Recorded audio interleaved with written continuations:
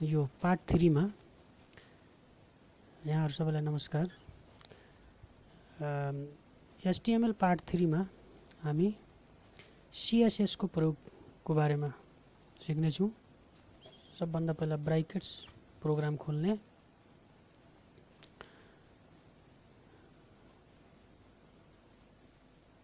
ब्राइकेट्स फाइलमा new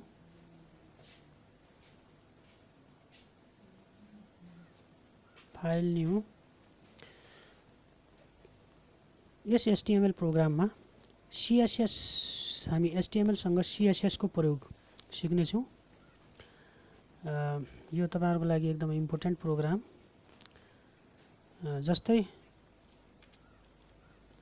एसटिएमएल sorry file पहिला save गर्ने file save रिड्राइभ मैले कुनै एउटा फोल्डरमा आफ्नो फाइल सेभ गर्छु।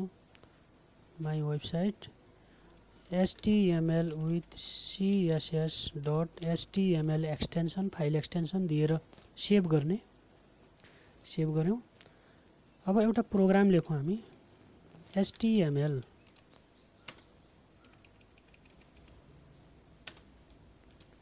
एचइएडी हेड। हेडभित्र हामी टाइटलको प्रयोग गर्छु होइन? T I T L E title कुनै पनि टाइटल दिदिउँ। एसटिएमएल विथ सिएसएस तपाईँलाई जे टाइटल दिनु छ त्यो एस टाइटल र टाइटल ट्यागको बिचमा दिने। हेडको बाहिर हाम्रो बडी ट्याग प्रयोग हुन्छ। बडी यहाँभित्र हामी प्रोग्राम गर्छौँ। जस्तै कुनै पनि एउटा सेन्टेन्स लेखेँ मैले। H one heading heading computer input devices भनेर मैले लेखेँ। H one heading BR break कम्प्युटरका input डिभाइसहरू म बुलेट लिस्ट बनाएर देखाउँछु। युएल बुलेट लिस्ट तपाईँलाई बनाउन आउँछ। अगाडिको ट्युटोरियलमा मैले सिकाएको छु। UL LI mouse sorry mouse LI keyboard LI joystick.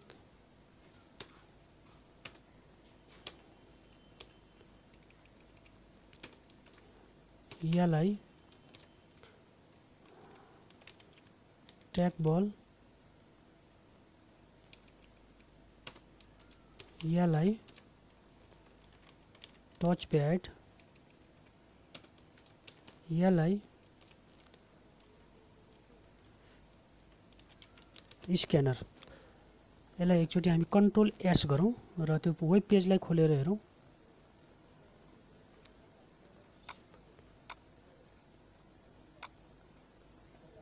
सिएसएसडी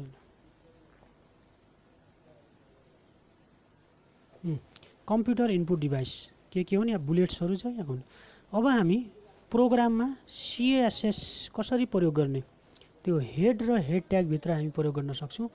जस्तै के हुन्छ भने हामी पार्टिकुलर यो लाइन छ यसैसँग पनि हामी ट्याग प्रयोग गर्न सक्छौँ र हेडभित्र पनि हामी ट्याग प्रयोग हामी त्यो कुनै पनि चिजलाई फर्मेट गर्न सक्छौँ सजिलै।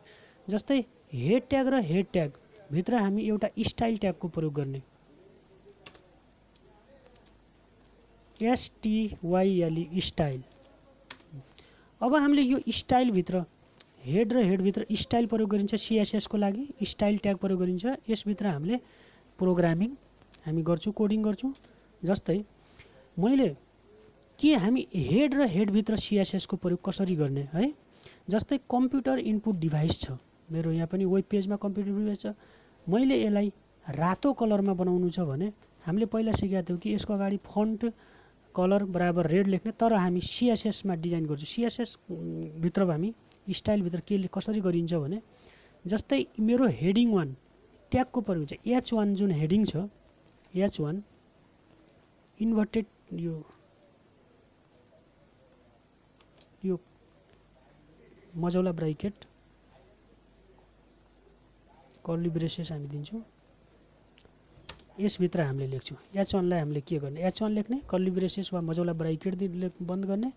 के गर्ने? अब हामीले यो एच वान ट्यागभित्र जे जे गर्नु छ हामीले यो दुईवटा ब्राइकेट बिचमा लेख्ने। जस्तै F O N T font size font size ten pixels control S F five F five हेर्नुहोस् five pixel size font size ten या colour C O L O R colour बराबर हामीले सरी कलर सेमी कलन लाग्छ यसमा colour मैले त्यो till colour यहाँ कलरको list छ टिल कलर सेमी कलनले क्लोज त स्टाइल स्टाइलभित्र हामीले यो हेड जुन माइ कम्प्युटर इनपुट डिभाइसलाई हामीले फर्मेटिङ गऱ्यौँ किनकि हेडिङ एच वान अन्तर्गत छ यो। एच वान कर्ली ब्रेसेसभित्र हामीले यसलाई के के फर्मेट गर्ने यहाँ लेख्छौँ हामी। Font size ten pixel colour teal ten pixels अलिक कम छ बिस pixels colour teal control S F five teal colour त्यस्तै एच वानमा हामी sorry F O N T font family font family भनेको फन्ट फेस हो। कुन फन्ट लिने हामीले सन सेरिफ सेरिफ कर्सिभा ल कर्सिभा भन्ने लिएँ मैले। सेमी कलन यदि तपाईँलाई कुनै फन्टको नाम छ टाइप छ भने यहाँ टाइप गर्न सक्नुहुन्छ वा कपी पेस्ट गरेर गर्न सक्नुहुन्छ। हामी वेब पेजमा आउँ एफ फाइभ। कर्सिभा फन्ट यदि कुनै अन्य फन्ट आउँछ भने हामी अर्को फन्ट पनि यहाँ लिन सक्छौँ जस्तै माइक्रोसफ्ट वर्डबाट कुनै फन्ट कपी गरेर ल्याउँ हामी। हामीलाई मनपर्ने कुनै फन्ट छ भने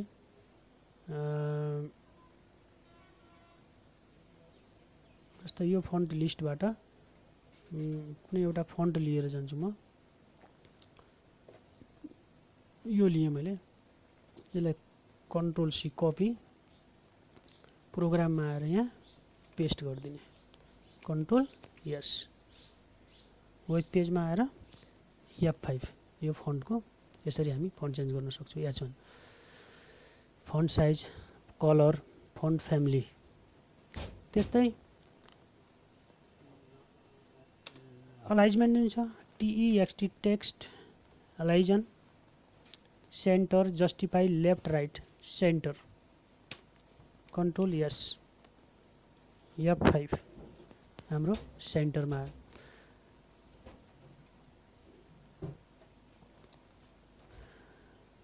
त यसरी हामी सिएसएस स्टाइल ट्यागभित्र हामी सिएसएसको प्रयोग गर्छौँ।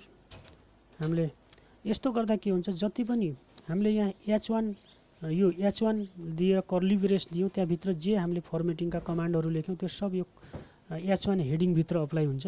यदि मेरो कुनै अर्को पनि हेडिङ छ भने एच वान त्यसमा पनि यो अप्लाई हुन्छ जस्तै। आउटपुट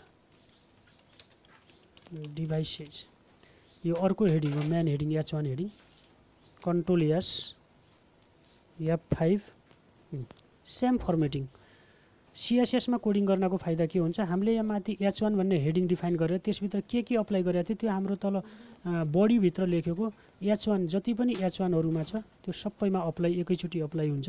हामीले सबैमा फन्ड दि त एकनासको चाहियो भने हामीले यसरी गर्दा सजिलो हुन्छ।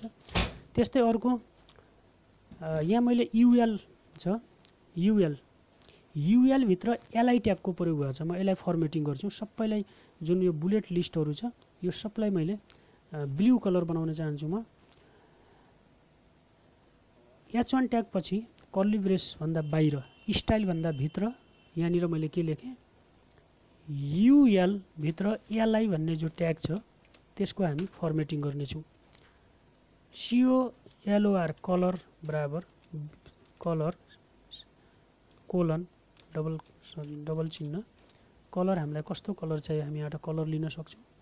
Blue colour semicolon close control S F five blue कलरमा आयो त सिएसएसको प्रयोग यसरी हामी यो हेड ट्याग जुन हेड ट्याग छ यो हेड ट्यागभित्र स्टाइल ट्याग लेख्छौँ र स्टाइलभित्र हामी प्रत्येक ट्यागहरूलाई फर्मेटिङ गर्छौँ। एच वान ट्यागलाई फर्मेटिङ गऱ्यौँ। युएल ट्यागभित्र एलआईभित्र लेखेका सेन्टेन्सहरू युएल ट्यागको एलआईभित्र लेखेका सेन्टेन्सलाई हामीले यहाँ फर्मेटिङ गर्न सक्छौँ।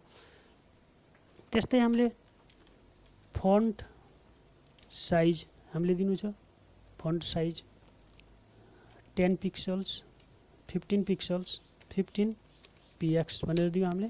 कन्ट्रोल एस वेब पेजमा गएर हेरौँ। एफ फाइभ पन्ध्र नम्बर साइज हाम्रो।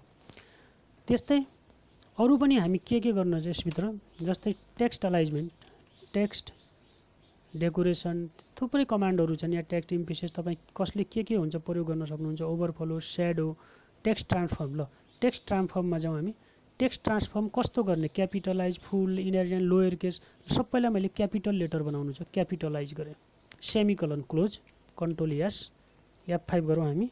हाम्रो अप्पर केसमा हुन्छ F five sorry text transform capitalise के मिस्टेक भयो युएलभित्र एलआई हामीले एफ फाइभ मिस्टेक भयो कि?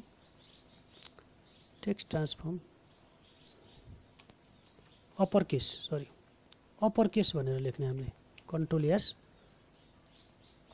एफ फाइभ सबै क्यापिटल लेटरमा आयो होइन अप्पर केसमा आयो। Lower case upper case sentence case title case कुन केसमा गर्ने? हामीले यहाँ लेख त यसरी युएलभित्र एलआईको जुन छ त्यसलाई हामीले यहाँ फर्मेटिङ गऱ्यौँ। त अब हामीले जति पनि तल प्रोग्राम एज बडी र बडीभित्र जहाँ हामीले युएल र एलआईको प्रयोग गर्छौँ त्यसमा यो फर्मेटिङ अप्लाई हुन्छ। होइन? त यसरी हामी हेड ट्यागभित्र हामीले सिएसएस कोडिङ गर्छौँ। यसलाई हामी सिएसएस कोडिङ भन्छौँ। डिजाइनिङ दिने काम गर्छौँ। जस्तै एउटा अर्को म यसमा कुनै एउटा इमेज इन्सर्ट गरेर हेरौँ। आइएमजी एसआरसी एसआरसी बराबर कुनै एउटा फोटो ल्याएर आउँ मेरो त्यो फोल्डरमा कुनै फोटो छ कि छैन हेरौँ। यसमा फोटो छैन एउटा कुनै फोटो ल्याएर आउँछु म माई कम्प्युटर। ड्राइभ एक्स्ट्रा यसलाई ल्याएर आउँ कन्ट्रोल यसलाई ल्याऊ कन्ट्रोल सी कन्ट्रोल भी एउटा फोटो राखेँ मैले। यहाँ जाउँ बराबर इन्भर्टेड कमा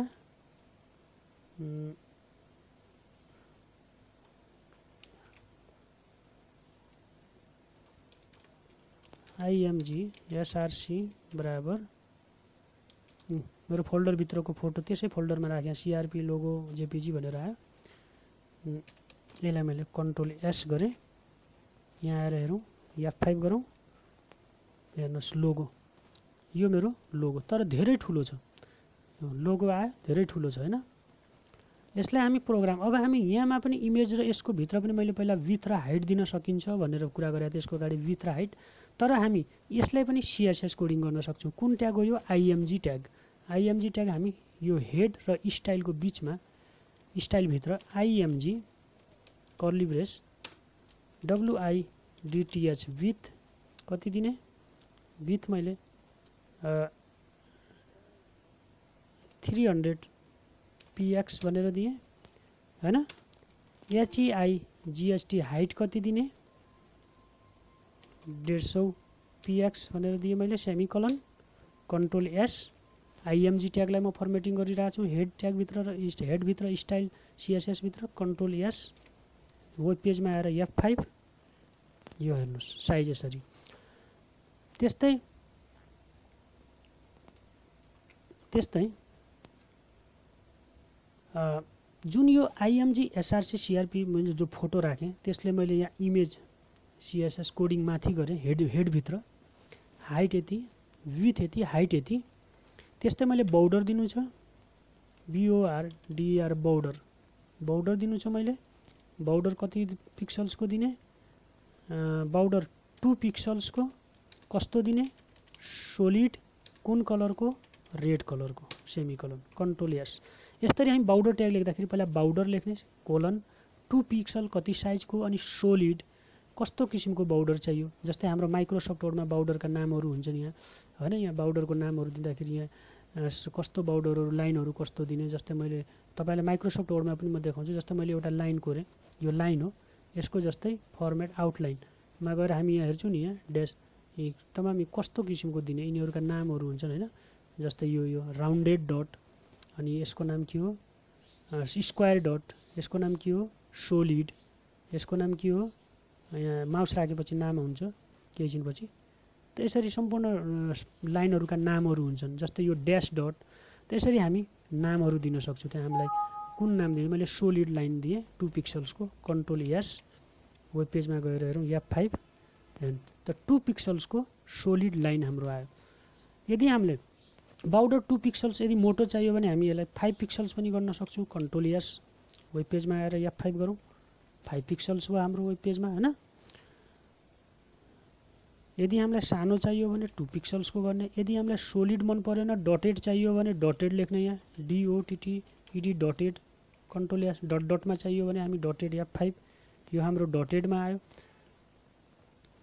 कुन कलरमा चाहियो त यसरी हामी बाउडर बाउडर बराबर टु पिक्सल्सहरू त यस प्रोग यो पार्टमा पार्ट थ्रीमा मैले सामान्यतया हेडभित्र पहिला पनि मैले भनेको थिएँ हेडभित्र हामी के लेख्छु त्यो पछि सिकाउँछु भनेर।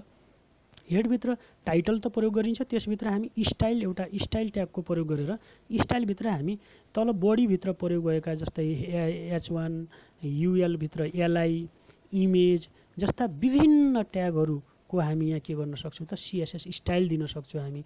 यो भनेको कस्तो हो भने जस्तै हामीले बडीभित्र जुन कुराहरू लेख्छौँ हामी त्यो कुराहरूलाई हामीले फर्मेटिङ गर्न सक्छौँ माथि सिएसएस स्टाइल गर्न सक्छौँ हामी।